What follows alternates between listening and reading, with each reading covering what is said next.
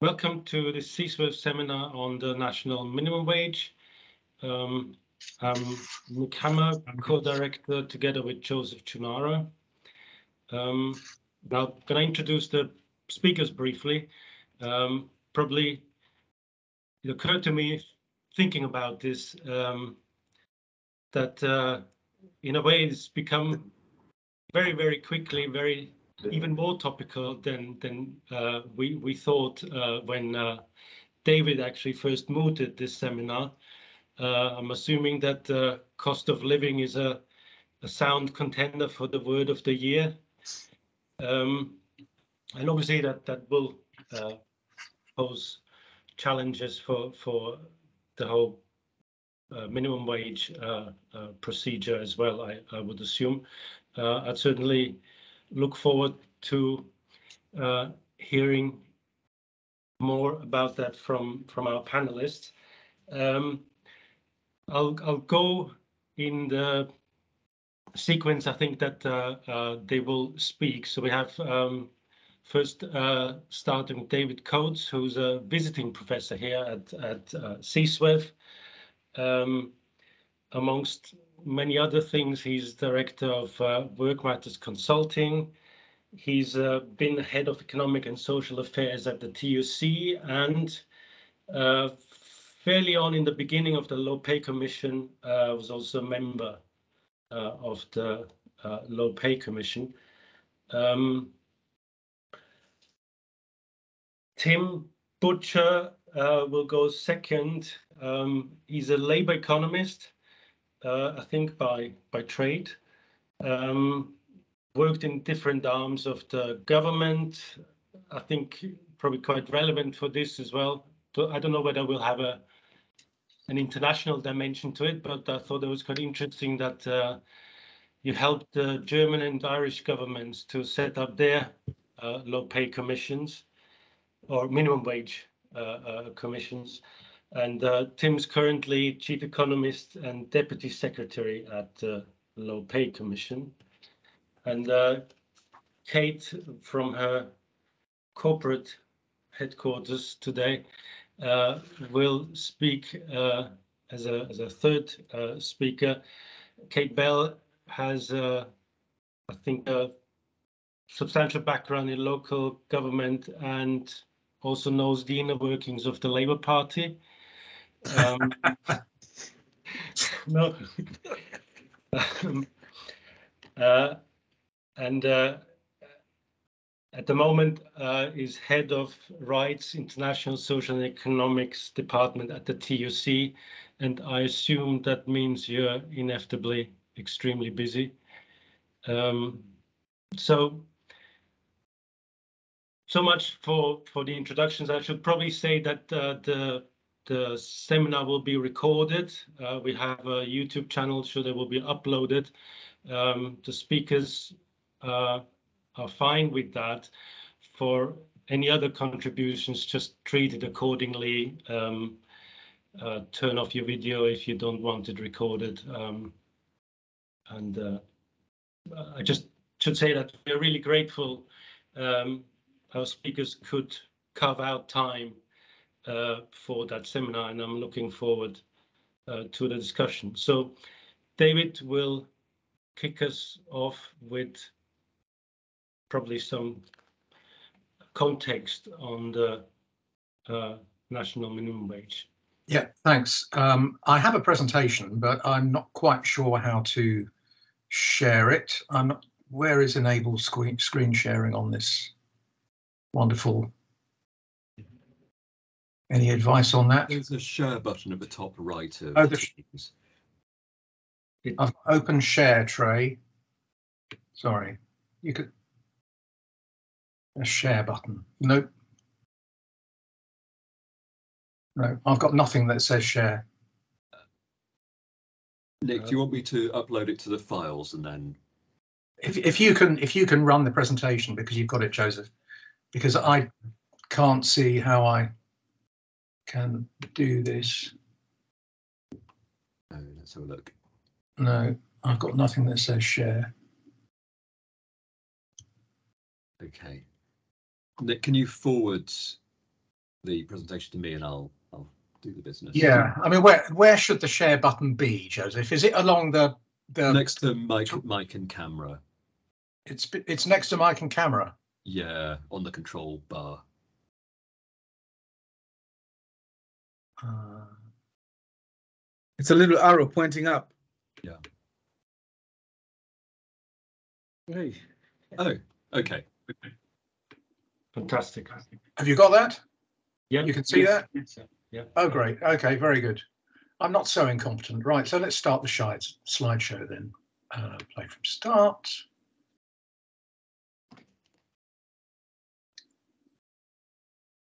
Uh, there we go.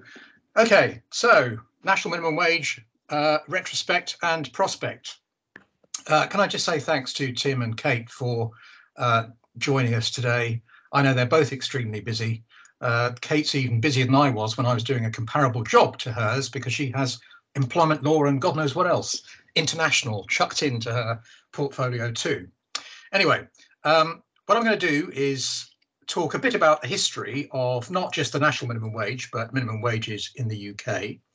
Uh, reflect for a moment on where we are at the moment, um, and then talk about how the policy might be developed in the future. I'm hoping I won't um, steal too many people's thunder.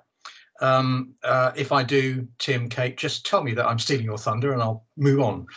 Uh, now, um, the idea of a national minimum has been around for a very, very long time. Uh, you find it in Beatrice Webb's uh, Minority Report on the Poor Law from 1909. But she wasn't simply talking about a floor under wages. She was talking about establishing a level of income, which, uh, to slightly misquote Adam Smith, not just kept people above subsistence, but enabled them to appear in public without shame, to be full participants in society. Uh, we're still probably not quite there, um, but nonetheless, uh, this is an idea with a very long and honourable pedigree. In terms of public policy, you first find the establishment of wage floors uh, in the late 19th century in 1891, uh, when the um, Conservative government adopted the first Fair Wages Resolution, which, is, which essentially required all contractors providing goods and services to government to observe the general level or the accepted level uh, of pay uh, in that industry in that locality. And the Fair Wages Resolution was updated in the 1920s and uh, sorry, in the 1910s and 20s, and again in 1947, uh, so that essentially the collectively bargained rate in any industry or sector became the rate that any government contractor had to pay if they wanted access to the um, public sector market. Um, and according to Otto Kahn-Freund, this had a bigger impact on the observance of collective agreements than any other measure. So the idea was to establish a wage floor using collective bargaining as the base across all public procurement. And then in 1909, uh, we see the establishment of wages boards that became wages councils under the 45-51 Labour government, which adopted a slightly different approach, but assumed that in certain sectors, in sweated trades as they were called, uh, that there needed to be a model of wage fixing, bringing together employers and unions and independents to break any uh, uh, um, uh, deadlock between the parties, to then fix legally enforceable minimum wages and conditions in those sweated trades. The assumption at that time was that at some point collective bargaining would take over because as the parties developed their relationship, became more confident in dealing with each other, as trade unions organised in these sectors, it would be possible to move from statutory wage fixing to a purely voluntary approach. And that principle, the idea that you start with something statutory and then move to normal conventional collective bargaining, persisted right the way up until 1975, when the Employment Protection Act um, enabled wages councils to be translated into statutory joint industrial councils uh, without any of the independent members, but retaining the legal enforceability of those uh, uh, JIC orders. Uh, that was abolished in 1980 by the Thatcher government and has never come back. Another example of the idea that collective bargaining was the best way of establishing minimum conditions was the unilateral arbitration, unilateral arbitration arrangements that were introduced during the Second World War and again continued up to 1980. And unions were then empowered to bring complaints before the Central Arbitration Committee that an employer was not observing either the recognised level or the general level specified in collective agreements and the CAC could make an award of pay and conditions. So throughout all of this, the assumption was that collective bargaining was the best route to establishing minimum pay and conditions in an industry. Trade unions and collective bargaining were the best way of protecting workers' interests. Now that all began to change a bit in the late 1960s uh, when public sector unions in particular believed that the voluntary system condemned their members to persistent low pay because government incomes policies were essentially a policy of wage restraint for the public sector. Tim might have some sympathy with this as a public sector employee. Uh, and uh, it meant that um, public sector workers were essentially on the receiving end for bad news from government incomes policy. And this led uh, the National Union of Public Employees, and in particular its General Secretary Alan Fisher and his head of research Bernard Dix, to intensify the argument that there had to be a statutory national minimum um, as an alternative to all of these voluntary arrangements and the assumption that collective bargaining was always best. Now, uh, I've brought a visual aid. Here is a piece of uh, what you might call industrial relations archaeology. Hope you can see that. That's Dix and Fisher's book, Low Pay and How to End It from 1974. And this really set the argument in motion, I would say, from the 1970s right the way through to the TUC and the Labour Party adopting the minimum wage uh, as a formal policy in the late 1980s. But uh, what's interesting too are the differences between what we currently have and Dix and Fisher's proposals. Because what Dix and Fisher were arguing for was something more like the universal basic income. But rather than the universal basic income being provided by uh, wages and top ups from the state or a basic income for everybody received from the state, they were suggesting that all employers ought to provide something like a UBI uh, paid directly from the wages bill. They were also making this argument in the context of what they saw as um, a socialist program, uh, calling for greater economic planning um, although the paradox is that they weren't really willing to um, address directly the desire of other unions with higher paid members from continuing to bargain without state intervention. And the way they envisaged the national minimum wage being fixed, uh, which is more like the system we have today, was through an annual national negotiation between government, trade unions, and employers uh, which presumably would then ensure that nobody uh, had to run the risk of appearing in public without shame. Uh, what's interesting too is that at this point in 1974, uh, Fisher and Dix were not arguing for a formula to determine the national minimum wage. They simply said um, that it should be part of a national negotiation involving the social partners. Uh, by the middle 1980s, on the other hand, NUPE have fundamentally shifted their position as indeed had some other unions, to argue for a national minimum wage fixed at half male median earnings. Uh, I won't dwell too much on the precise calculation um, or the components of that formula, but that was the policy on which Labour fought the 1992 election, and I think Kate is going to say a little bit more about that.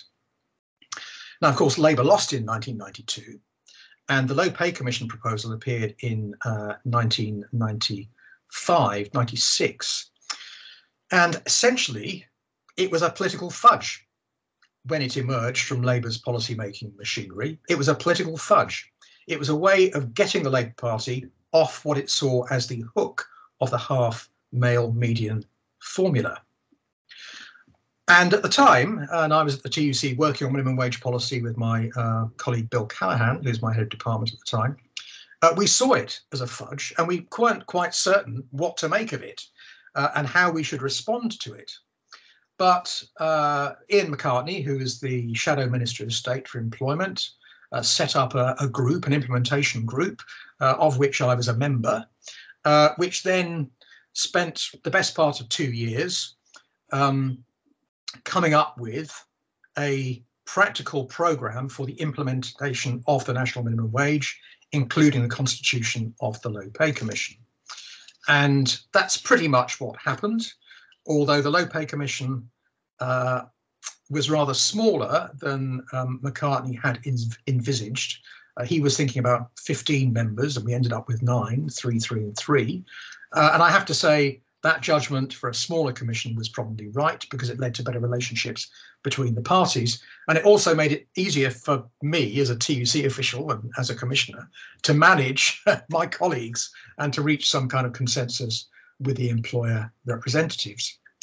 And largely as a consequence, I think, of the excellent um, chairmanship or chairship of Sir George Bain, who was the first chair of the commission, um, it has become an established institution, simply part of the furniture of labour market regulation. Nobody is suggesting the commission should be uh, abolished. Um, and the working methods, as I understand it, endure from uh, George Bain's time. So an interrogation of the data, collection of evidence from stakeholders with formal evidence sessions in London, and uh, also importantly, going out and meeting the data, as Professor Willie Brown used to say, talking to low paid workers, talking to the employers of low paid workers, talking to unions on the ground at local level as well. Uh, and if you think about it, the Low Pay Commission is the only new successful labour market institution established by the uh, 1997 to 2010 Labour government. Uh, it has been a success. But uh, I have to say that my own view is that the integrity and independence of the Commission has been somewhat compromised uh, in recent times, initially by George, George Osborne and then by subsequent chancellors, who have sought to specify a particular um, amount of money that the low pay commission ought to be aiming for as the national minimum wage, say two, three, five years down the track. And the national minimum wage has become almost the only instrument uh, that the government is willing to use to combat low pay. I know Tim and Kate are going to say more about that, so I'll move on. Now, if that sounds like a, a, record of success, to some extent it is, but if you look at the percentage of workers who are low paid in the UK, um, it's still well above the OECD average. And other countries do significantly better, including France and Finland, Denmark, New Zealand. I'm not quite sure I believe the Turkish numbers down at the bottom end of that chart, but this is directly from OECD stat and there is no better source, I'm afraid. So uh, believe it or not, if you like. But certainly the uh, data from um, uh, from uh, major European economies is right, and the UK's position here is broad, broadly right. It's improved slightly in the last year as the national minimum wage has risen, but nonetheless, the UK still has a very significant low pay problem, which the national minimum wage has not cracked. I think we also need to think creatively too about how we define low pay and what we mean by low pay. Because as I think Tim may mention, uh, the impact of the higher rate for the over 24s, the national living wage, has been, yes, to pull more people out of low pay, but it's also led to a bunching just above the level of the national minimum wage. Now, um, this tells us something about using purely statistical measures to determine whether somebody's life chances have or have not been transformed.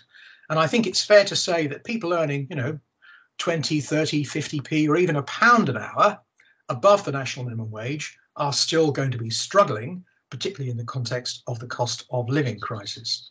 And the view that the national minimum wage alone can do more than simply be a plimsoll line under Labour, I think is to um, adopt a false prospectus. More needs to be done. The minimum wage in itself is no more than a wage floor, and it cannot solve the problem of in work poverty. More than that, uh, we know from the work of people like Nick Hammer, who's chairing this session, that low paid workers have a much wider range of problems with the quality of their employment. Uh, employment insecurity, casualisation to some extent, an absence of voice, um, uh, authoritarian management behavior, uh, uncertainty around hours, um, poor health and safety practice. There's plenty of evidence of that in the clothing industry in Leicester. All of these things aren't touched by the national minimum wage. So if we want to look at, in general terms, the quality of work as experienced by those people in the bottom quartile, we need to think about more ambitious interventions. And to start with, I would say that the Low Pay Commission ought to do more than it currently does. It ought to do what it says on the tin. Um, with all due respect to Tim, this is no criticism of what the LPC does. You're working within a statutory remit.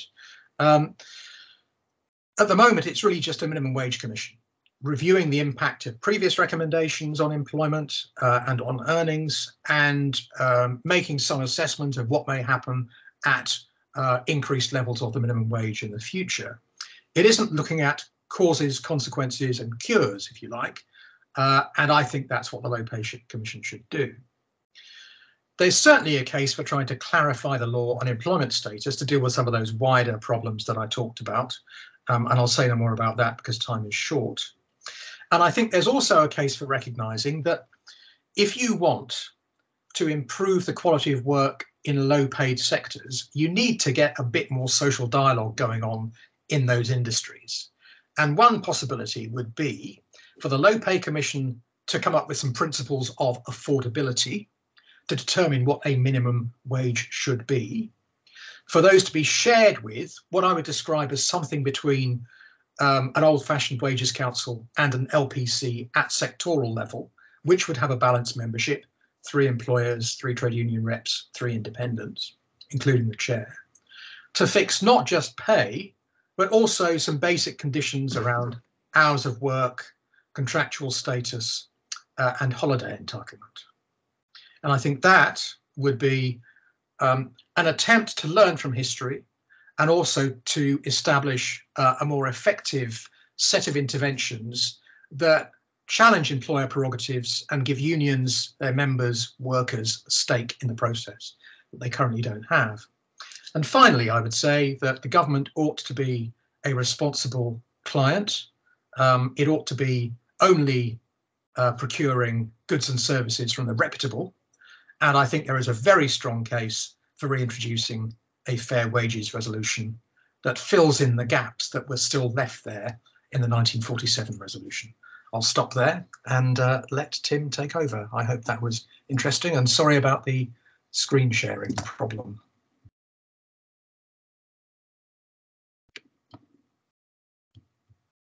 Thank you, David. Have I stopped screen sharing? Yes. yes. Excellent. I suggest we have a discussion at the end. Um, uh, so I'll just hand over directly to Tim. Okay, can you see the slides okay?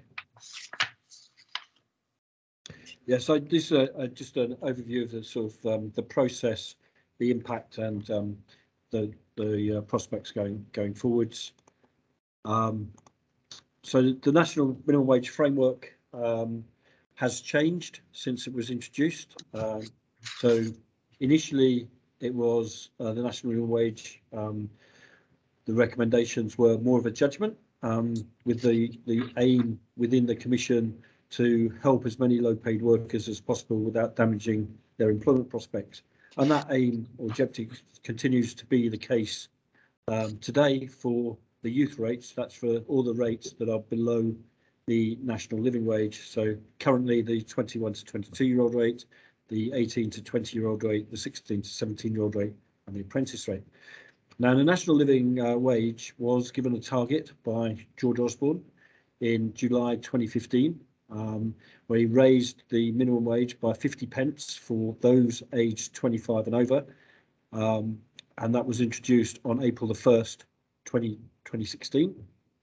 And in phase one, uh, the sort of the Osborne target, uh, you could call it, was to reach 60% uh, of median earnings for those aged 25 and over by 2020. Um, we think we've done that, although um, we, we, with the pandemic, um, we're, we're not uh, entirely sure where exactly where we are uh, within the wage distribution as the, the data has been severely distorted uh, through the, the furlough uh, scheme. Um, um, but we hope that ASHE 2022 that we will get uh, later this year will uh, will be a fair reflection of what's going on in the labour market and we'll be able to uh, assess where we are on that path. Um, phase two, to reach two thirds of median earnings for those aged 21 and over by 2020.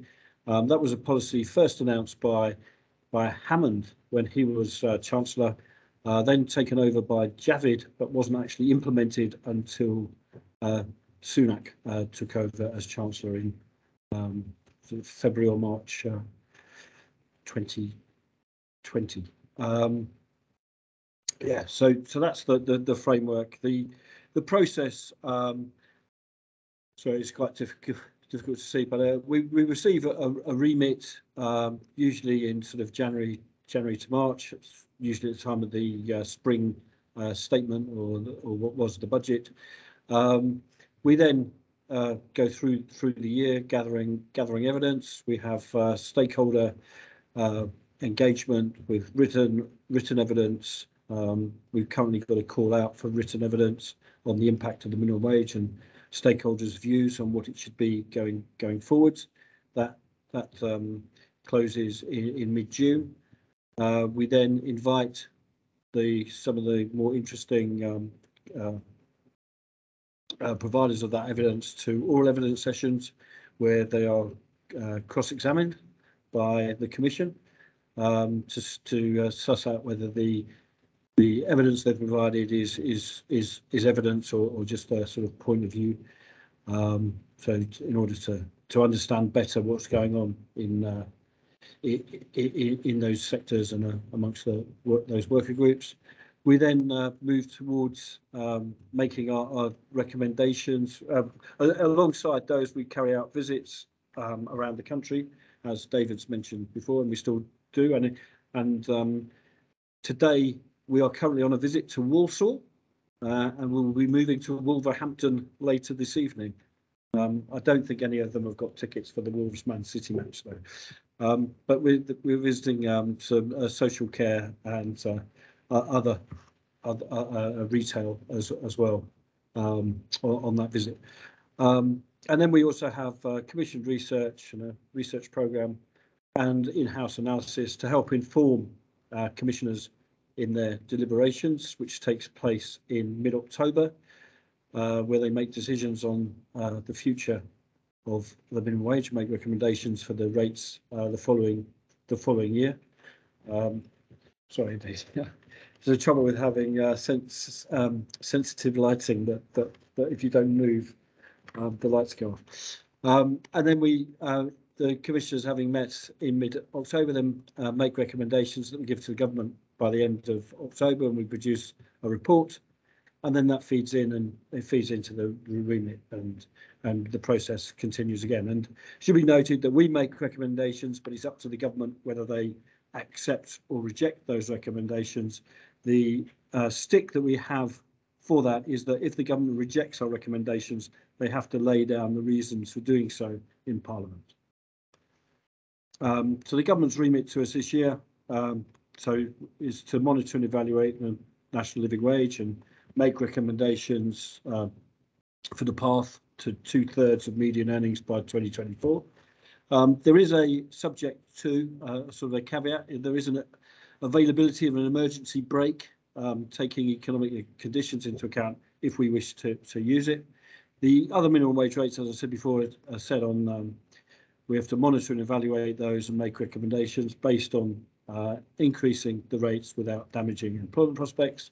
We've also been asked to pay particular regard to um, those workers with protected characteristics who are more likely to be low paid, and also as part of the levelling up agenda, looking at the different impacts across, across the UK. And this year we are uh, conducting a sort of review of the accommodation offset of the national minimum wage. That's the amount that employers can deduct from wages if they provide their employees with accommodation.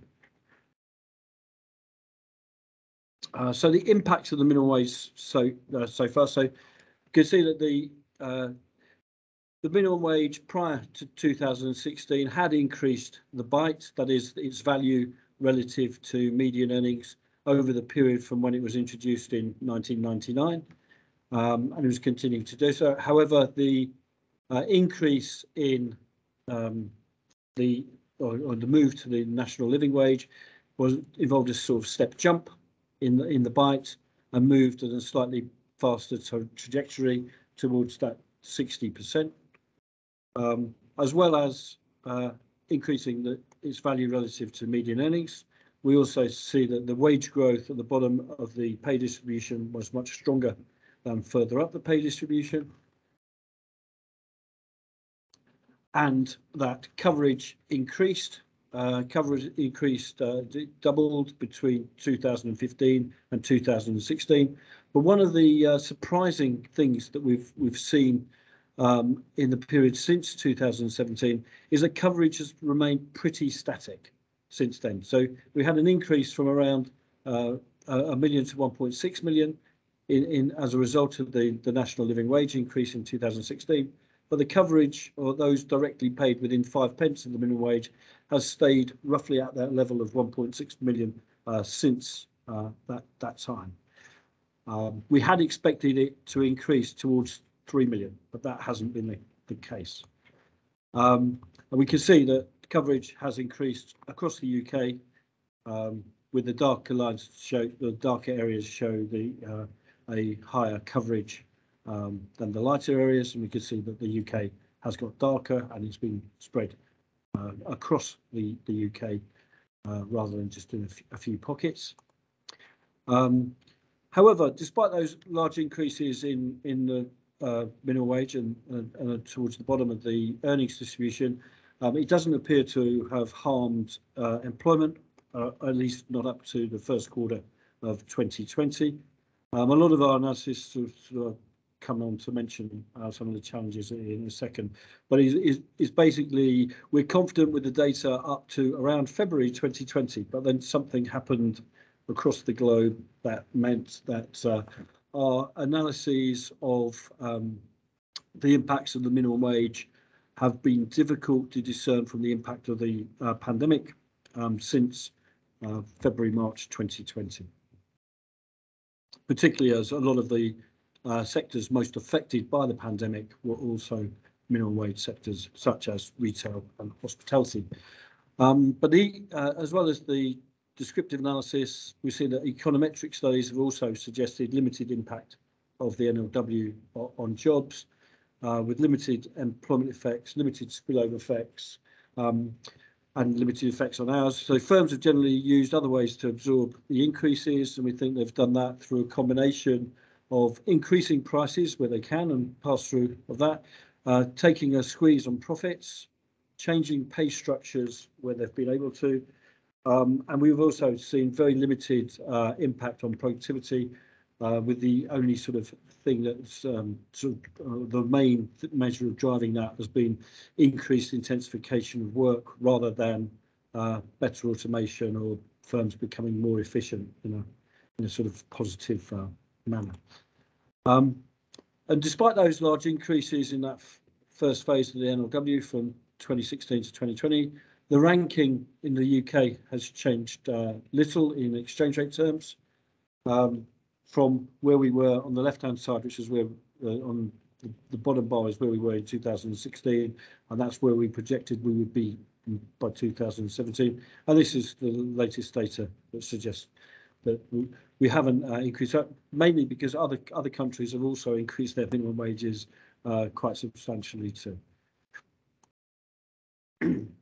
In terms of um, the challenges we faced, um, we had to uh, last year. We had to integrate three new commissioners.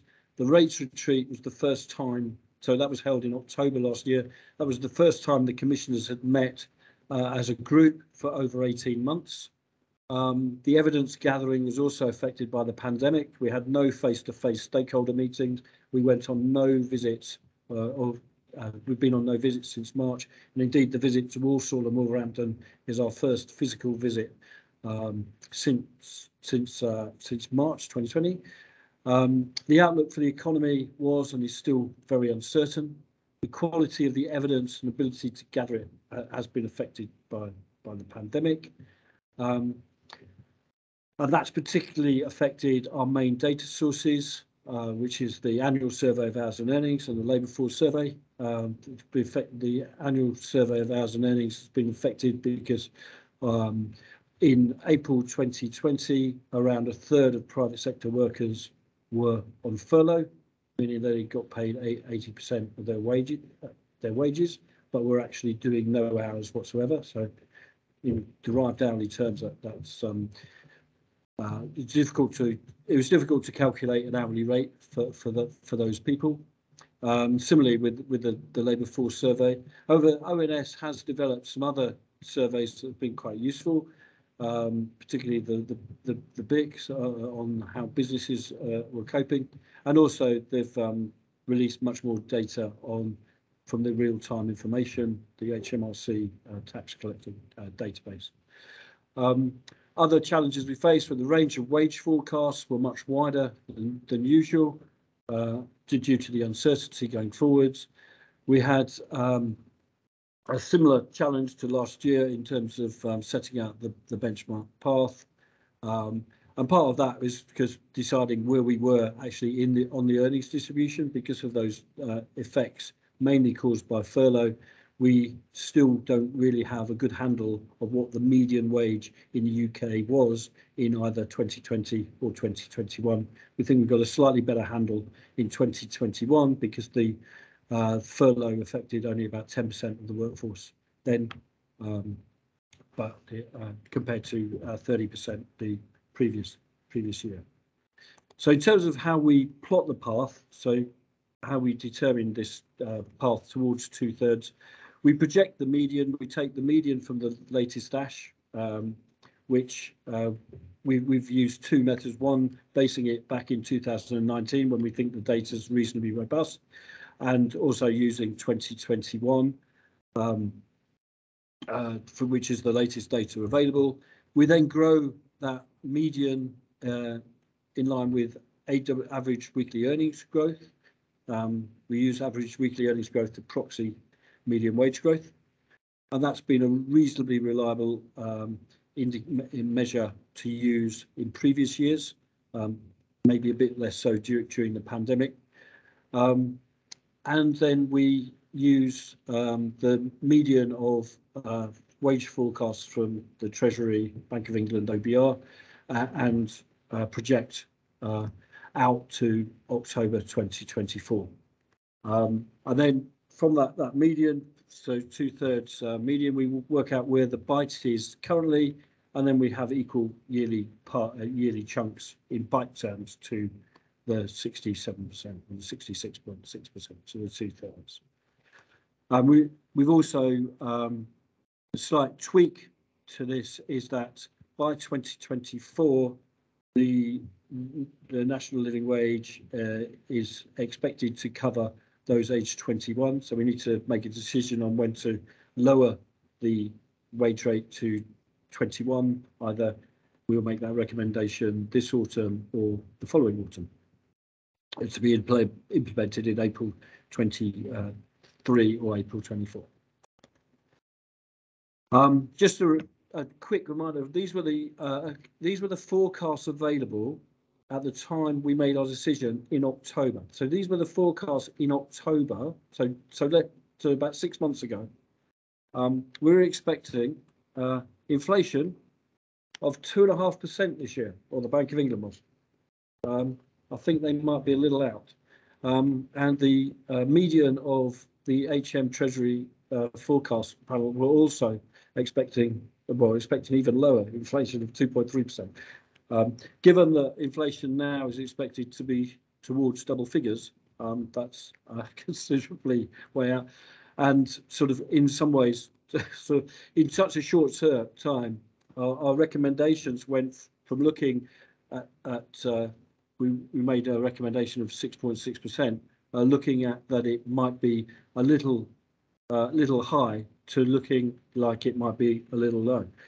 Um, so so in our uh, 2021 report, um, we we produced, we projected an NLW path using our, our, our, our method that we've sort of tried and tested method.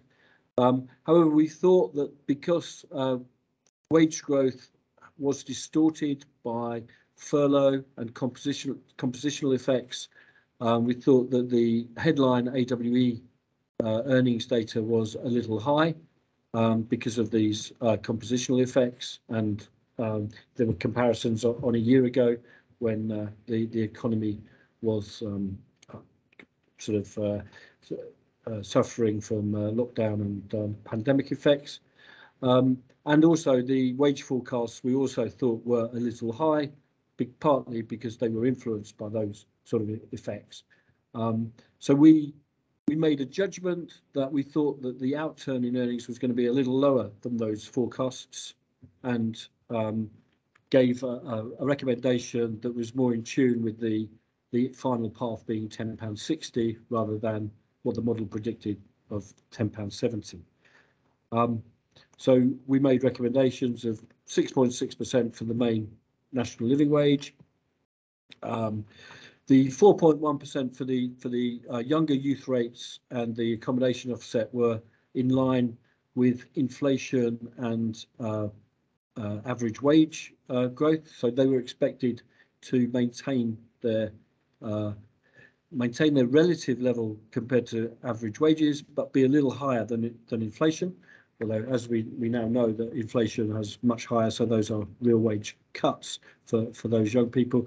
For 21 to 22 year olds, recognizing that we would be moving those that age group to the national living wage at some point in either 2023 or 2024, rather than having a large step jump in April 23 or April 24, we decided to sort of try and smooth that that increase um, and made a, sort of nearly 10% uh, recommendation. And the apprentice rate, it was a long-standing commitment for the uh, Low Pay Commission to uh, align the, the, the, the rate with the 16 to 17 world rate. So what, what's happened since, as we know, um, we've seen high high uh, wage growth, we've seen inflation uh, go up towards 8% and beyond. And our latest model forecast with bearing those um, those uh, that increase in wage growth and inflation is now suggesting instead of £10.70 that we thought at the retreat, we, we now get a central uh, estimate of £10.95. Um, and that that path doesn't include the latest Bank of England forecasts or the Treasury forecasts that will be published next week, where we're expecting, well, the, if they're in line with the Bank of England wage forecasts, the Bank of England revised its wage wage forecast for this year up by two percentage points, for next year by one three quarter percentage points, and for the, the year after that by half a percentage point, uh, which would take our projected path well beyond 11 pounds if that was reflected in the other um, uh, in in the other forecast. However, the thing I should caveat is that um, personally, I think those wage growth estimates are possibly on the high side, and um, when we, when we see the ASHE 2022, um, we might come back towards the the 1060, 1070 that we were expecting uh, last autumn. However, we do not know and we will not find out until towards the end of September, just in time for our recommendations in, in, in October. So in conclusion, um, so despite the challenges, again, the Low Pay Commission again agreed unanimous recommendations, um, as it has done in every uh, year uh, since its reported in uh, 1998, since it was established. Um, the NLW is a big step change and a significant one has led to large increases in relative level of the minimum wage um, and the number of workers paid those rates. Um, the evidence so far is that it hasn't uh, detrimentally affected employment and jobs. Um, however, we don't really have a good handle of the impact so far in 2020 and 2021 because of the impacts of the pandemic and potentially Brexit have overshadowed any impact from, from the minimum wage. Um, and, and we think that lots of those things won't become clear until uh, later this year or early next year. So may may not even become clear before we make our decisions again for 2023.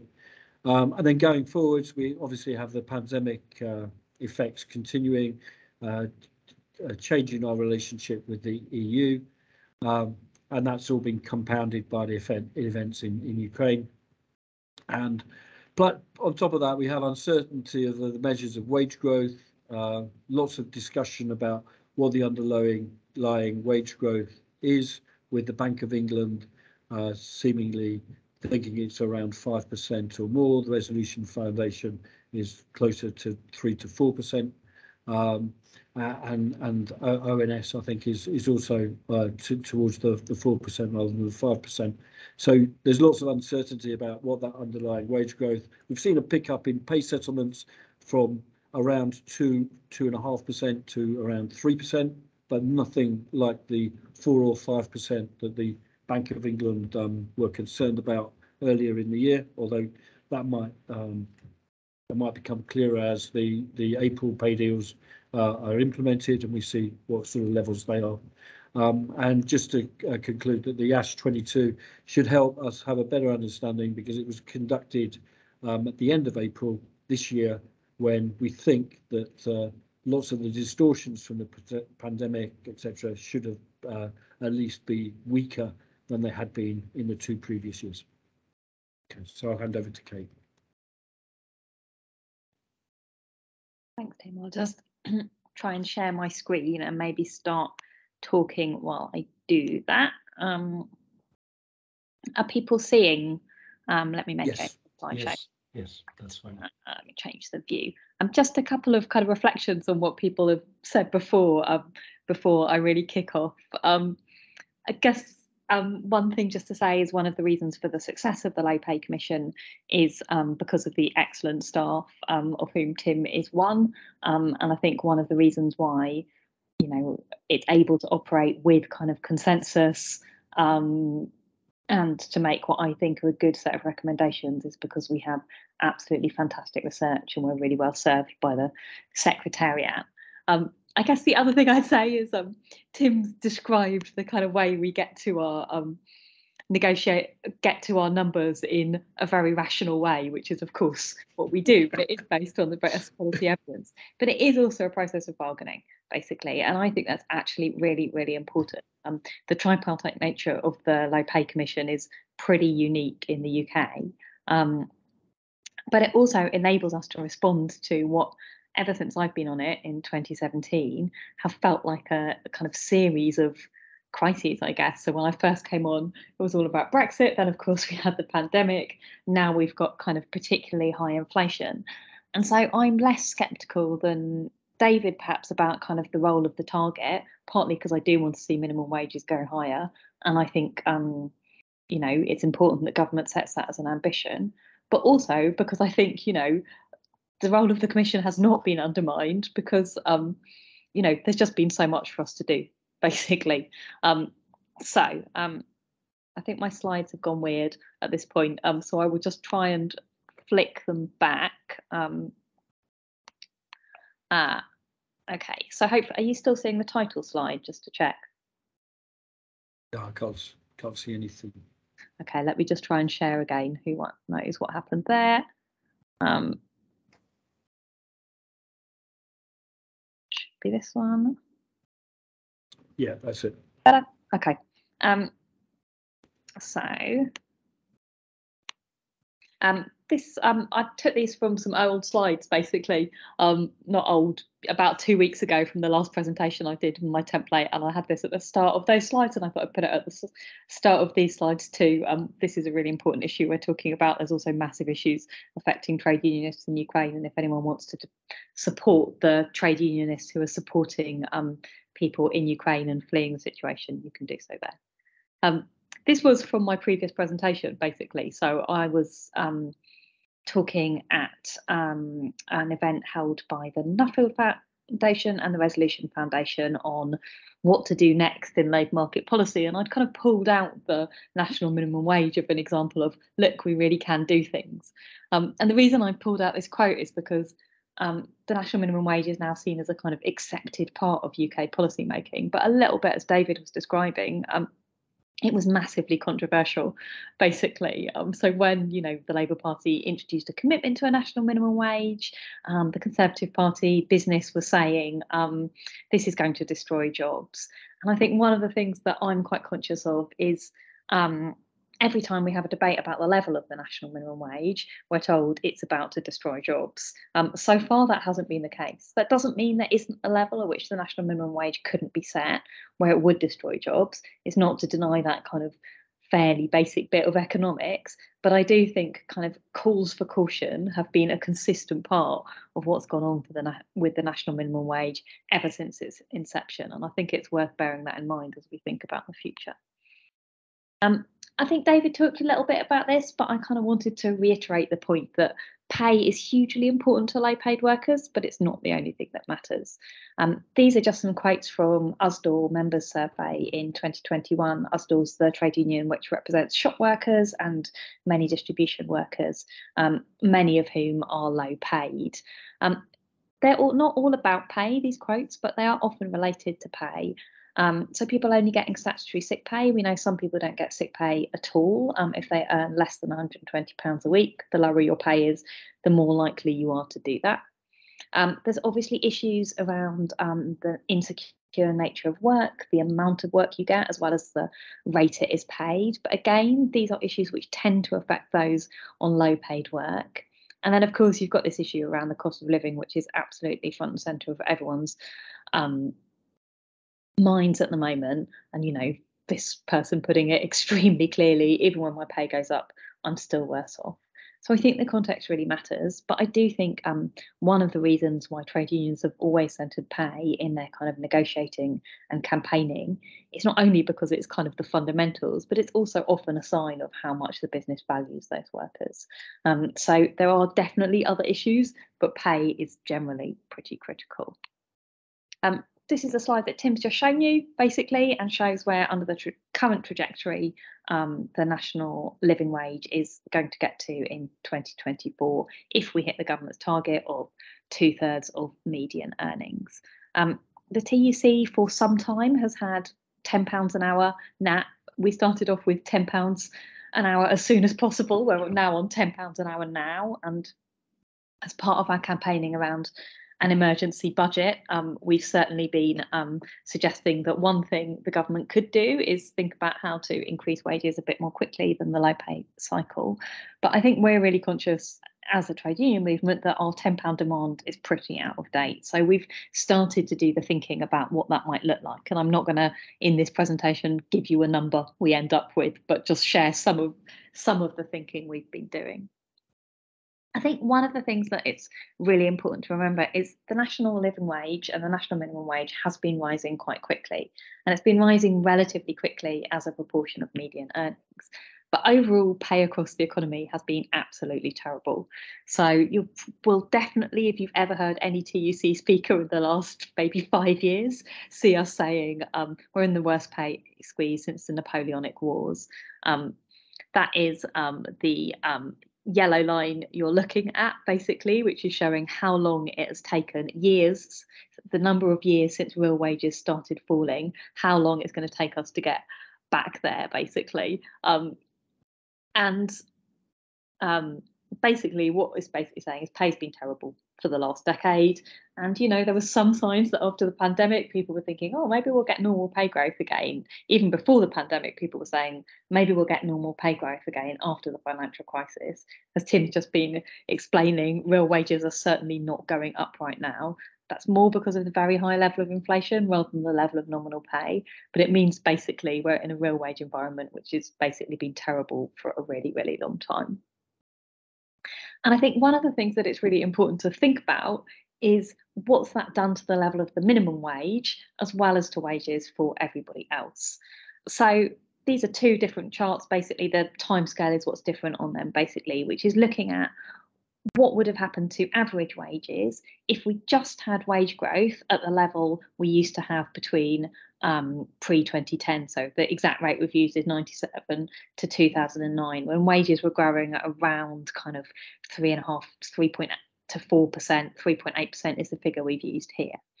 So basically, on the left, you can basically see those blue bars, you know, average wages ticking along very gradually. Then you get this flat, this is um, uh, nominal wages, very slow growth. And those pink bars are showing just how much higher um, average wages would be if they'd followed the 2000, the 1997 to 2009 average, basically showing that now our median wages, rather than about 1485, which is they are now, will be around 17 pounds now. The next chart is showing you, well, what happens in the years to come if we could get decent wage growth yet, uh, wage growth back. And that shows you that our median wages would be growing slightly higher. So we'd be getting to around a £20 average wage by about 2030 um, under that trajectory. And the reason we're kind of thinking about median wages in the context of the minimum wage is because the target that the government has set and the target most people think about for um, assessing low pay is tied to the level of median wages. So, in that framework, which I think we think is a reasonably sensible one, it's about tackling inequality as well as putting a floor under wages. Higher median wage growth means higher growth of the minimum wage as well. Another point to make around that, I think, is that if we would tackled labour market inequalities, we would also be seeing much, much higher um, minimum wages. So we've just said that, okay, we could get to around a £20 median wage if we was if you know we accepted that we've had lost wage growth for the last decade um, and then we said, okay, that's happened. Now we're going to get wage growth back on track to what it was before 2010, which is not a particularly ambitious ask, it has to be said. Um, you know, particularly when the OBR and the Bank of England are saying wage growth is actually going to be 5.5%, although as Tim says, we're a little bit sceptical about that. We're saying, well, then you'd get to um, a median wage of about £20 an hour by 2030. However, right now, if you're a man in London, you're already getting the £20 an hour median wage. So again, median wages are not just affected by um, the pace of wage growth for everybody, but also if we closed some of those gaps, and this would be a levelling up measure, um, we'd have much me higher median wages at the moment. And that again would be setting the context in which we think it would be possible to achieve um, a higher minimum wage. I think it is really important to say that um, the minimum wage has been one of the most effective tools we've seen for um, tackling pay inequality. Um, we've seen women's pay at the bottom catching up basically because of higher minimum wages and you know some of the progress exceptionally slow progress it has to be said that has been made in um, closing the gender pay gap has been because of those higher minimum wages with women concentrated in historically low paid occupations for reasons we're all probably pretty familiar with and the general undervaluing of women's work. We also think, Tim can correct me from if I'm wrong, from the research that the Low Pay Commission has done, that the minimum wage does have a disproportionate impact on black workers, um, again facing structural labour market inequalities, more likely to be concentrated in low paid jobs. And so again, minimum wages are a vital tool for tackling those inequalities um, and another reason for kind of thinking about how we can be ambitious about raising the wage floor. I've lost my forward button. Um, I think Tim showed you the bite, the way the bite of the median wage has been increasing over time. So the bite, for those who don't always speak this language, is the proportion of average wages that um, the minimum wage reaches. So the previous slides were kind of showing you, well, if we just get average wage growth going up, and even if we had the same bite, we'd have larger numbers for our national minimum wage. This chart is basically saying we think the bite could go higher too. Um, it's gone up by about 10 percentage points, I think by over 10 percentage points since the minimum wage um, was introduced um, by about 15 percentage points actually, sorry. We think it's perfectly plausible to say it could go a bit higher. Um, I think, you know, Tim showed us the evidence that minimum wages have not yet had um, a significant impact on employment or nobody's really been able to find it in the UK as yet. Um, that's my reading of the evidence anyway, and Tim and David can come back and dispute it. Um, we think there's scope for them to go significantly higher. And it was actually a colleague on the Low Pay Commission who made this point, which I thought was a really interesting one. Um, at our last meeting, one of the things we've often worried about in the Low Pay Commission is differentials and employers saying, well, you know, if the minimum wage keeps going up, um, you know, we've got to give all the supervisors an extra 50p and then that adds to our wage bill. Um, colleague made the point that if the cash values are larger, um, you actually have more kind of cash points in between 66% of the median wage, 66p. If you double say you had 66p in a pound, if you double both those figures, the number of penny points between those figures becomes larger, basically. So larger median wages um, give you again more scope for actually increasing your differentials rather than necessarily seeing them as flattened when you think about it in cash terms rather than percentage terms. So again, I think we think there's scope for the bite of the minimum wage to increase too. And Tim's just shown you this chart as well.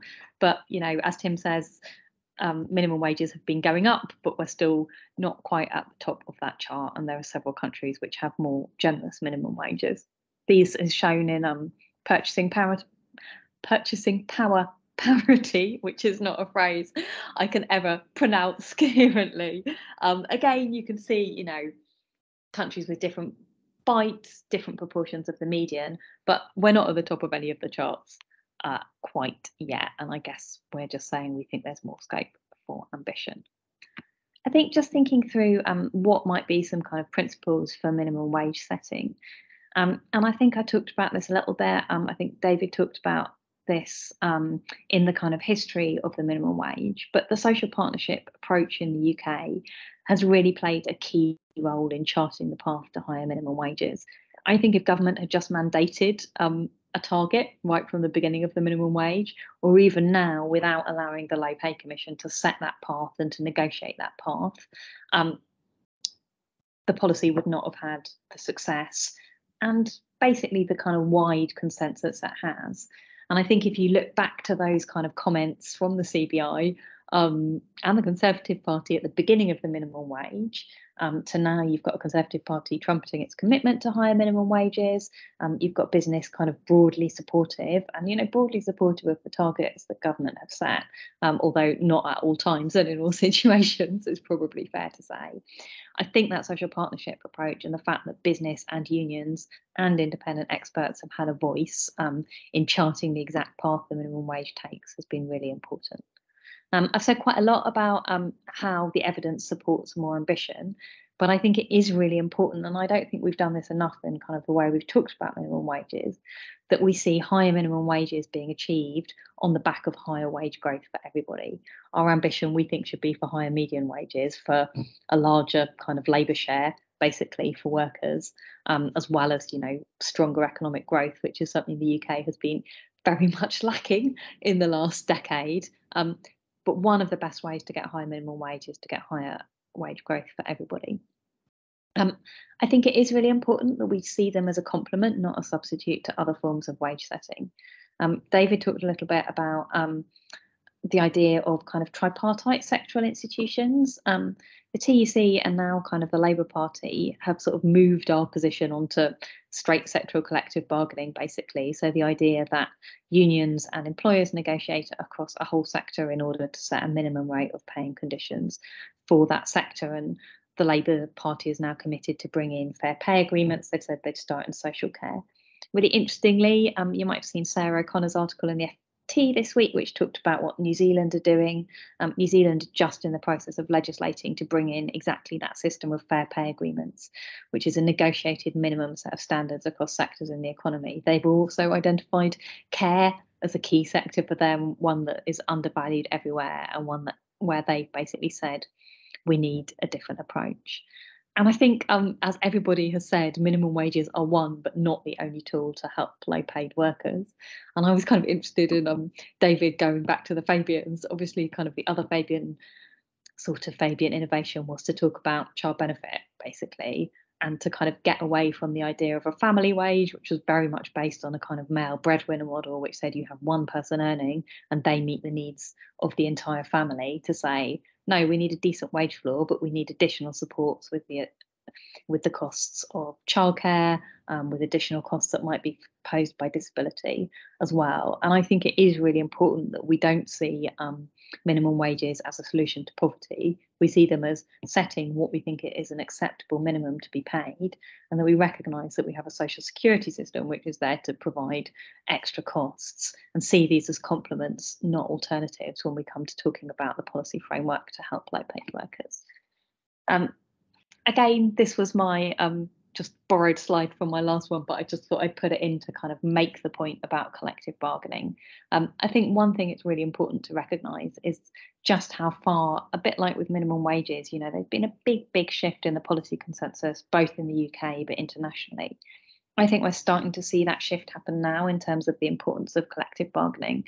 Um, I put up a quote from the um, OECD, who um, did a big study of this in 2019, and the OECD not known for being a radical institution, basically said that collective bargaining at a sectoral level is the most flexible form of wage setting and one which best enables workers to respond to a changing firm form of work. Um, and then I've given you the kind of New Zealand um, example there.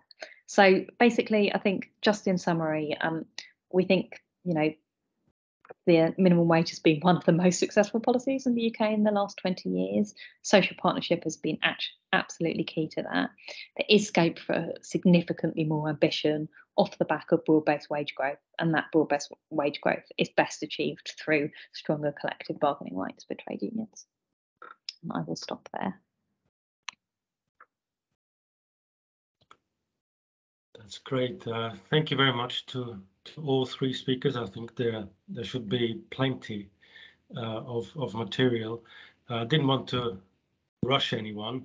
Um, we still have, I think, a substantive amount of time to uh, discuss things. So probably take a number of questions and then do a round. Um, any comments? Um, okay, so we have uh, Wen and Ying, and then Joseph. Let's start with those three. Uh, Tim Kate and David, thank you very much for this insightful findings. Uh, this is a question for Tim. Uh, I wonder, things happening probably uh, in our favor for this new pay improvement. One is the scale improvement you know, the government put a lot of money for leveling up, like uh, uh, young people in age from 19 to 22, you can sign up for any uh, boot camp, skill boot camp, uh, to to you know to improve your skills. Uh, that would reduce their pressure on this lower pay because they are equipped with new skills. The other thing which I'm thinking is after we withdraw from uh, exit from Euro European Union, uh, it's actually put a boundary for a lot of imports from overseas. Because I, I used to buy quite a few clothes from China because I'm petite, I can't find the right size. And now if I buy from things online from China, I have to pay quite a bit of tax. It's really stopped me from buying. So I thought that would uh, these two factors actually do our favor to in, in, increase this low pay. I wonder what's your thoughts on it? Okay, shall we take Ying and Joseph before we go around to, to responding? Thank you, Nick. Um, uh, thank you for the presentation. I have um, two questions, one for Tim in particular, and two for uh, and and the second one for uh, David and Kate, if possible. So the first question is um, that uh, about uh, the methodology of um, sort of like uh, making making recommendations or uh, making minimum wage uh, uh, recommendations annually. So Tim mentions that you do visit. I mean, you, you used to do visits a lot to stakeholders to know about that, uh, to know about how they think about um, uh, raising minimum wage. I mean, adjusting minimum wage. So as a qualitative researcher, researcher myself, I'm interested in how uh, the uh, findings or how the outcome of this kind of visits feed actually feed into uh, determining the recommended level level uh, of the minimum wage rather than just the need to um, adjust the minimum wage. Like, for example, how workers how, how workers or the stakeholders make sense of the make sense of the difference between 950 and per hour uh, and 891 per hour for instance so yeah just wondering how the physics help you with uh, sort of like setting the difference setting the difference um, uh, uh, uh in uh, of minimum wage in different years the second question is about a historical, uh, it is probably more historical. I was just wondering whether there was a point in time, a point in time in history where um, uh, uh, a monthly a monthly minimum wage rather than an hourly rate uh, uh, was under consideration. Like for example, we pay we pay rent every month and then we pay we pay uh, uh, uh and then we get paid pro probably especially for salary workers we get paid for uh, monthly instead of hourly. So uh, so for me at least or maybe also for other for, for workers that i talk to in other national contexts having and knowing the wage floor for, uh, on a monthly basis is probably more helpful than understanding how much I get per hour. Yeah, so we're just wondering in the UK context whether this has been in the consideration of like trade unions or campaigners or uh, policymakers at, at, at any point. Yeah, thank you very much.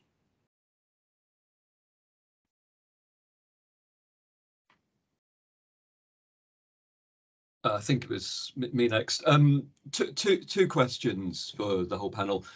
Um, the first is, I wonder how worried we should be about novel forms of contractual arrangement of work. And I'm thinking in particular about the very high profile debate about platform economy work and gig economy work and so on, where it's actually very, very hard to quantify what hourly earnings are a lot of the time.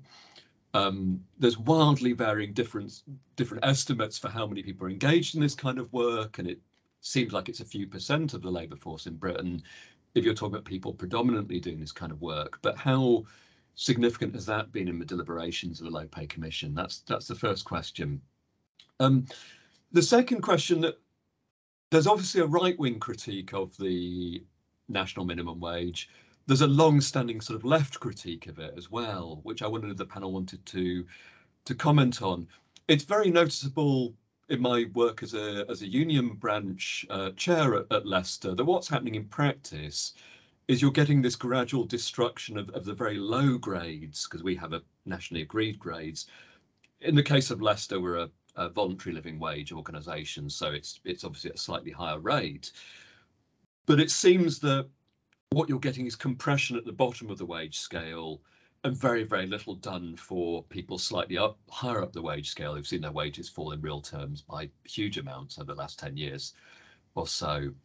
And there's the old argument that if we want to address these wider questions, it rests not so much on these institutionalized arrangements, but on the agency, the collective agency of workers to engage in struggle, collective organization at the point of production, and so on.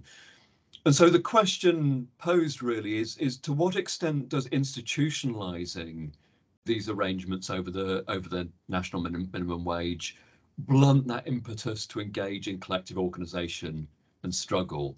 Is there a danger that paradoxically, by giving this uplift to people at the bottom, we end up undermining these traditional forms of contestation over wages and conditions at work? Those are my two questions. That's great. Um, don't know who, who wants to go first. There were a few for Tim, but I think that wasn't exclusive at all. Um, um, I'm happy to try and answer so, so, some of them. Um, so, so when you in terms of, um, yeah, I mean, uh, there's the sort of perceptions of labour shortages and a tight labour market. Um, I'm, I'm not uh, well, I think it's partly due to the pandemic, and I'm not quite sure how whether that's temporary or permanent. Um, you know, the uh, the level of employment is still 600,000 lower than what it was pre-pandemic, even though the RTI numbers are um, are similarly higher than pre pre pre-pandemic. Um, and we don't know how much of that is a switch from the self-employed to employees as a result of IR35s and other changes in the in the, in the labour market, um, and whether sort of workers during the pandemic have looked to get employee jobs because it offers a bit more protection than self-employed jobs. Um, so we, we don't know how that's going to sort of pan out.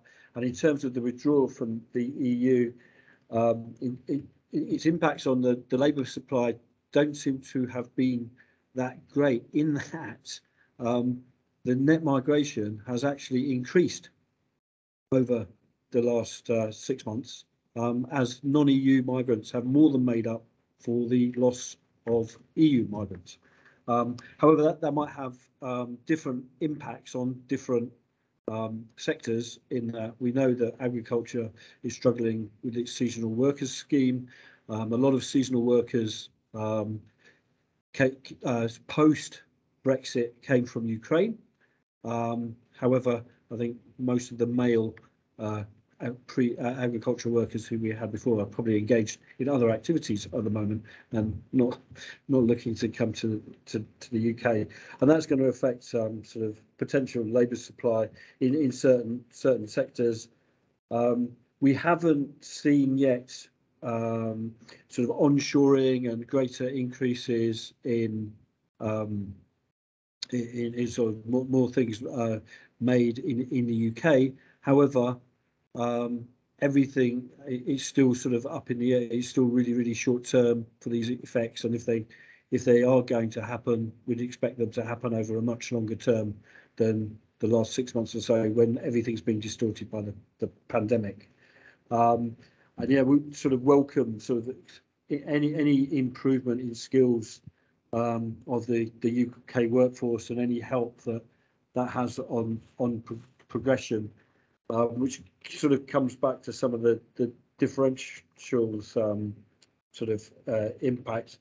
Um, so in terms of um, the, the last point that, that, that, Joseph made about the collective agency and the left critique, all I can say is that um, prior to, to 1997, if you look at the period uh, say 92 to 97, where we had an absence of uh, any wage councils or any basically uh, uh, intervention in the labour market apart from the agricultural wage wages boards. Um, we saw that wage growth for the, the bottom decile uh, increased roughly in line with CPI inflation. And that was far, far lower than the median, uh, the growth at the median, which in turn was far, far lower than the growth towards the top. Um, so although that might be a sort of um, a specific, a specific uh, period of history in the in the 90s, uh, it might also be what might happen in the absence of any bargaining power for the for the lowest paid. Um, and we sort of mentioned that about other form forms of, of work. Um, in terms of um, the sort of monthly versus hourly considerations, um, this was uh, those sort of issues were considered uh, back in 1997, 1998, uh, when the Low Pay Commission was established. Um, because of the prevalence of part-time work in the UK, it was decided that an hourly rate would be uh, better or easier to administrate than a monthly rate, whether you'd have to take into account all forms of different um, uh, different types of working.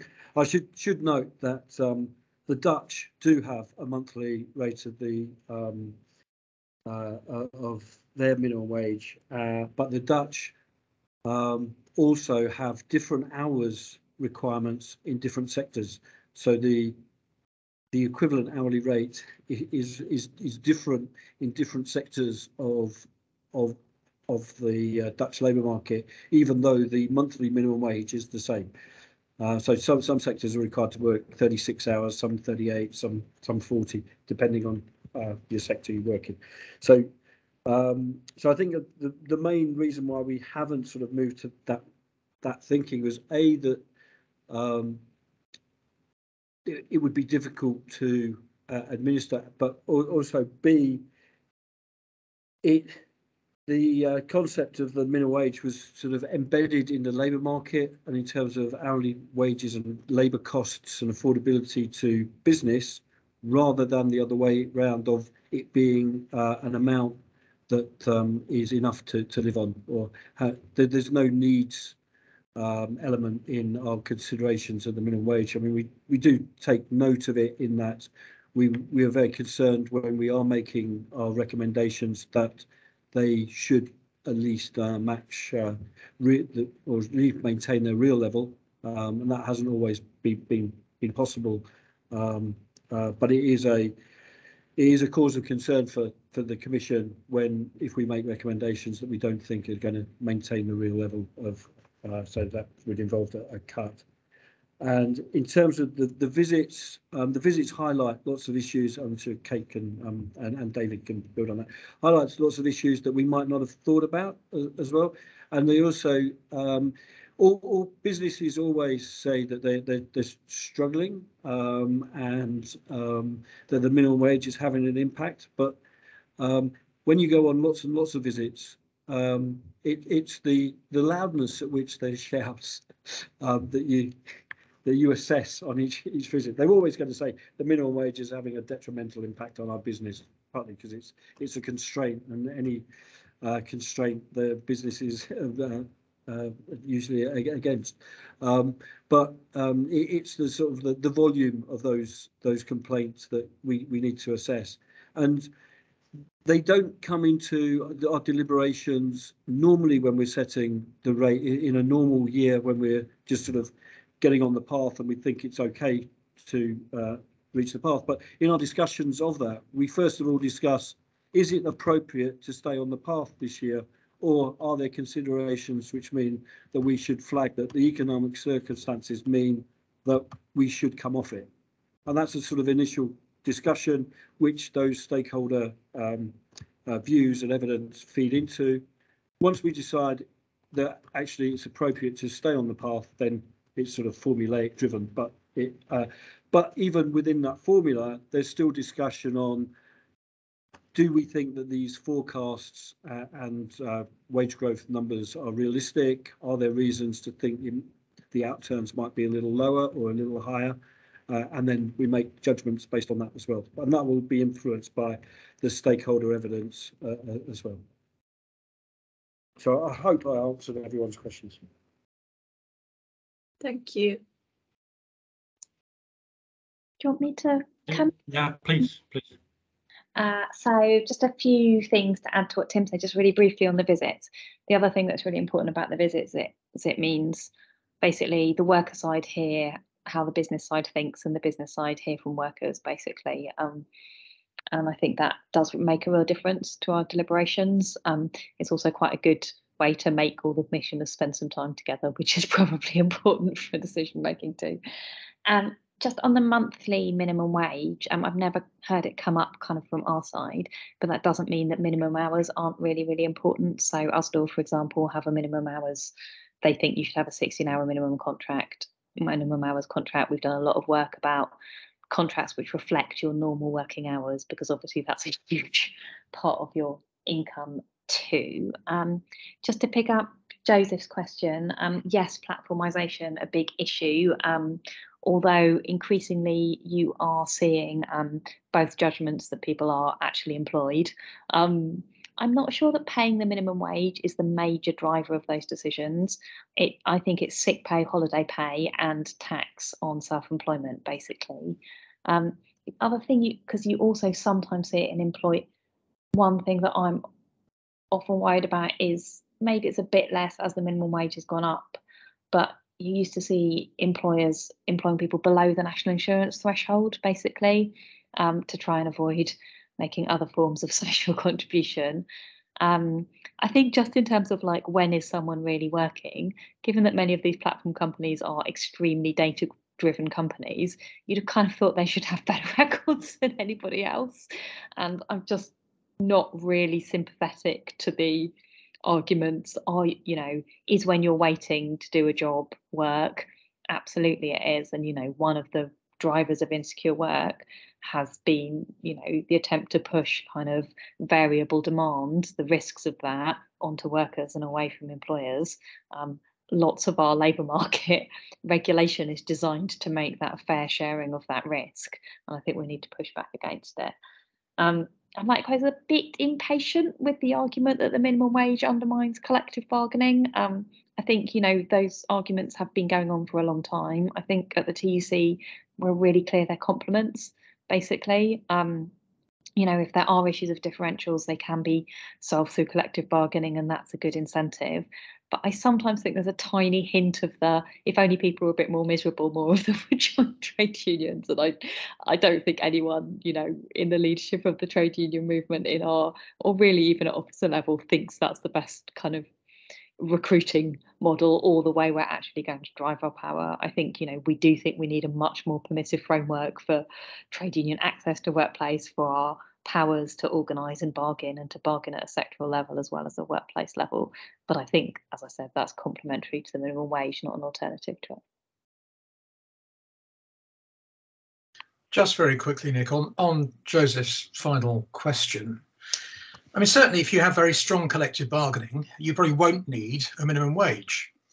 Um, that's true in Denmark and Sweden, for example, but you have very, very high levels of union density and you have very, very extensive collective bargaining coverage. Um, and before the minimum wage was introduced, of course, the UK did have, as I described it, the fair wages resolutions, the unilateral arbitration arrangements, and wages councils but we still had a really, really big problem with low pay, which the minimum wage has indeed ameliorated.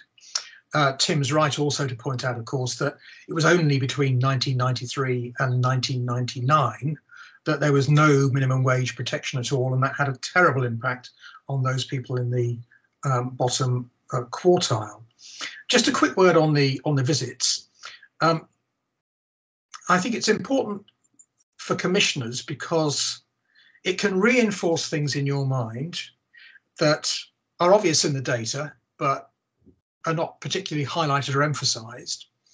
Um, and it can also bring you face to face with the realities of what it's like to run a business, which, you know, sitting in a bureaucracy, uh, uh which is what Congress House is, the TUC is, is sometimes um, a little bit remote. So I remember going to a, a pub just outside Ashbourne in Derbyshire on a visit, to talk to the owner manager of the pub. Um, and uh, we had a very nice lunch there. And she said to us, Well, the minimum wage is not really a problem for me because if you put it up, I just put the price of a pint up. Oh, we said, that's very interesting. So we shouldn't be worried then. So what is bugging you? And bear in mind, we just had lunch. And she said, food hygiene regulations. Taking the temperature of my fridges every two hours or something, that's what worries me not the minimum wage. So, so I suppose just coming back to uh, Joseph's final question, uh, if you've got very strong collective bargaining, you don't need a minimum wage. But in an, in the absence of Nordic style arrangements, you've got to have one, I think. And it's how you achieve that balance between the statutory intervention, the wage floor, something that goes above and beyond that for sectoral dialogue in those sectors where unions are very, very weak, and then allowing collective bargaining its full flourishing elsewhere. My concern with the TUC's current position, by the way, uh, with um, some sort of fair pay agreement arrangement, is that it's very, very hard to sustain that if you haven't got any members in that sector. And the real risk is that if it's instituted by statute, so the employers are brought to the table compulsorily, and then you get a change of government, and the employers no longer have to come to the table, you can see a catastrophic collapse, not just of collective bargaining in that sector, because the, the employers will just walk away, um, but uh, an adverse impact on wages too. And you can see that, for example, in Australia, where uh, when the award system was modified and when enterprise bargaining was introduced, those sectors where you had quasi compulsory collective bargaining wages fell. And there was a catastrophic experience in New Zealand in the early 1990s under the Employment Contracts Act.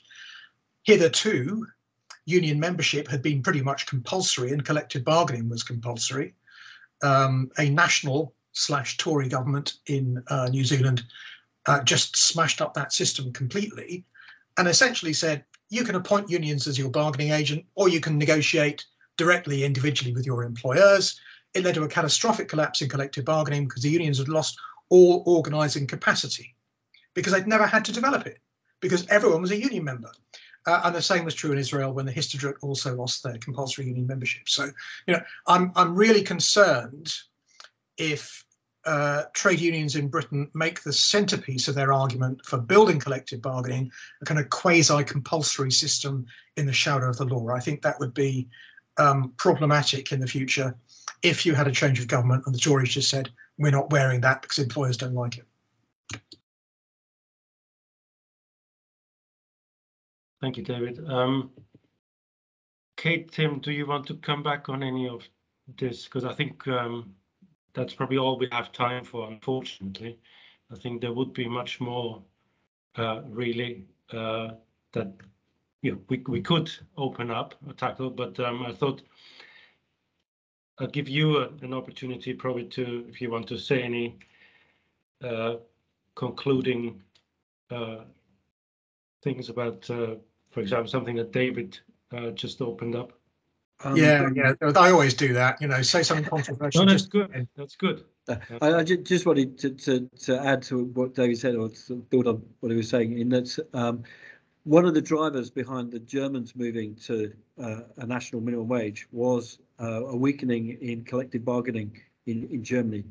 And it may or may not be noticeable that the Swede, Swedes have got in touch with us this very week to discuss introducing a national minimum wage and how how we'll go about it. I mean, that might also be due to the, I think there's an EU directive on uh, minimum wages as well. But, but um, so so that's sort of um, it's suggestive that if if collective bargaining isn't strong and it weakens, then then there is scope then for a, a, a national minimum wage.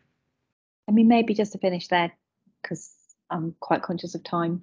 Um, there has been a lot of debate about there's an EU minimum wage directive which says that countries must have some form of minimum wage floor. It's been really, it's worth saying it's been really controversial in the trade union movement where with some unions where collective bargaining is strong, being very reluctant to see the state intervene.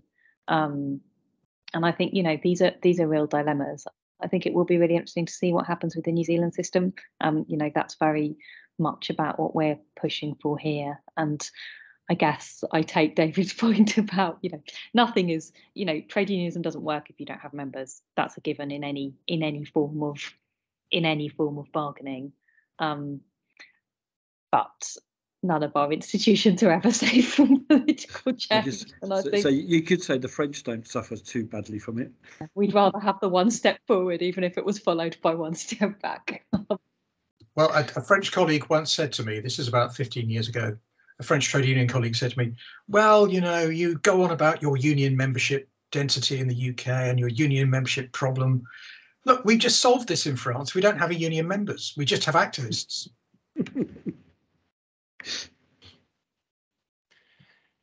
Okay, well, thank you very much, everyone. I think, um, yeah, uh, we probably uh, should think at one point for a, uh national minimum wage 2.0 uh, seminar or something like that. There's certainly some kind of follow-up. I'm sure there will be uh, opportunities. Um, but for now, um, we're, we're out of time, unfortunately. So thank you very much for the, the speakers.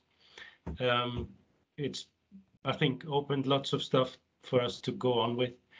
Um, and uh, yeah, I, as we say, uh, we we will upload it uh, on our YouTube channel, so that there should be um, sort of more occasion for for others who couldn't make it because of uh, commitments.